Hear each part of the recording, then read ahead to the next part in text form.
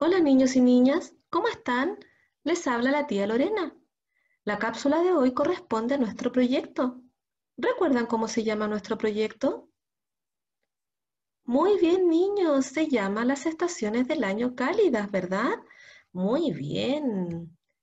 La semana pasada aprendieron sobre la primavera, las características que tiene esta estación. Y esta semana estamos aprendiendo sobre el verano. Entonces, niños, como ya estamos terminando el proyecto, vamos a recordar las cuatro estaciones que hemos aprendido durante este año.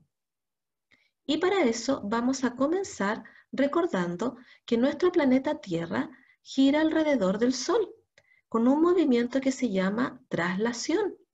Eso se demora 365 días del año, es decir, se demora un año en dar la vuelta completa alrededor del Sol. Cuando nuestro planeta está más cerca del Sol, estamos en las estaciones cálidas. Y cuando nuestro planeta se aleja del Sol, estamos en las estaciones del año frías. ¿Ya niños? Así que a recordarlo.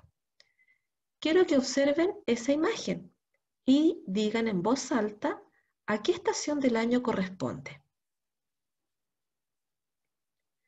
Muy bien, niños, corresponde al otoño, ¿verdad?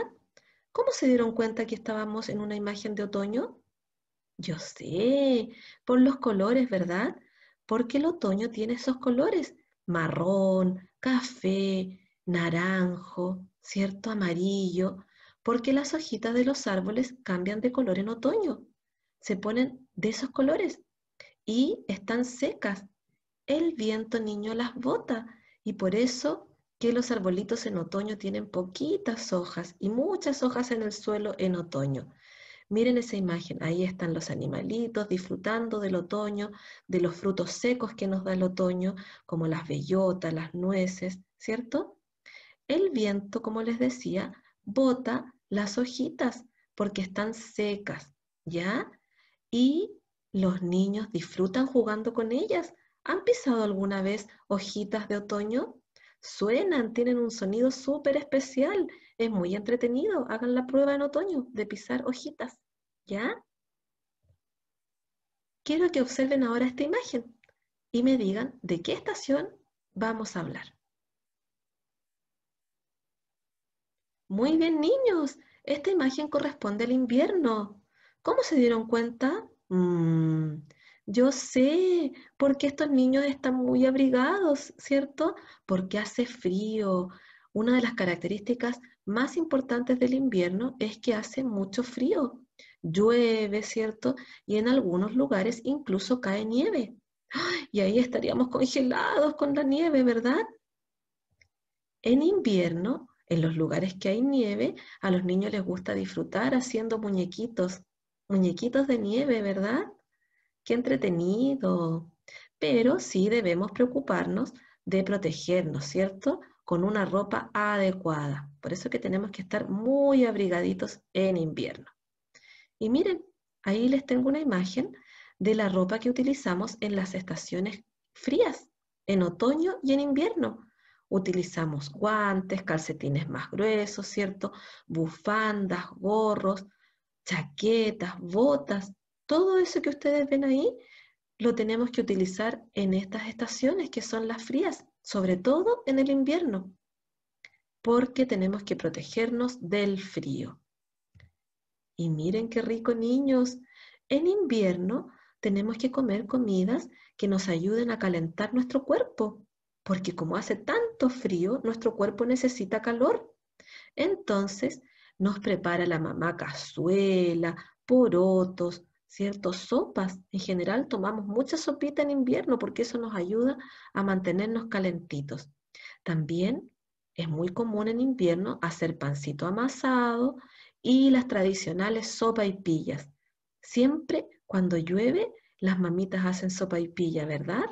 Esa es como una tradición, casi siempre, porque es algo muy rico de comer en día de lluvia. Quiero que observen ahora esta imagen. ¿A qué estación del año corresponde? Muy bien, niños, a la primavera, ¿verdad? ¿Cómo se dieron cuenta? Mm, ya sé, por los colores. En la primavera aparecen todos los colores, niños. Miren, hay una variedad de flores, de pajaritos, de mariposas. Por eso que la primavera es tan colorida. Y en la primavera ya empieza a hacer un poquito más de calor. Entonces podemos salir al parque, ¿cierto? A disfrutar al aire libre. Mientras que en invierno tuvimos que estar más encerraditos en la casa por el frío. En cambio, en primavera ya podemos salir a pasear, a andar en bicicleta, a jugar con las flores, ¿cierto? Porque es una estación del año que nos permite hacer esas actividades.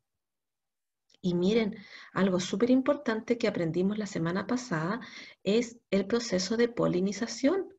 Las abejitas, las mariposas, en general los insectos, ayudan a la polinización ellos llevan el polen y lo trasladan de una flor a otra, niños, para poder tener nuevas plantitas.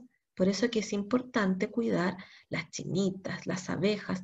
Nunca hay que hacerles daño, porque ellas son importantes para nuestro planeta y para nuestra naturaleza. ¿Ya? Ellas son las encargadas de hacer este proceso tan importante, el proceso de polinización. Acuérdense de esa palabrita. Ya, ahora quiero que observen esta imagen. ¿A qué estación del año corresponde, niños? Muy bien, al verano, ¿verdad? En verano, niños, hace mucho, mucho calor. Y es una época del año que por lo general estamos de vacaciones. Entonces podemos ir a pasear a la playa, ¿cierto?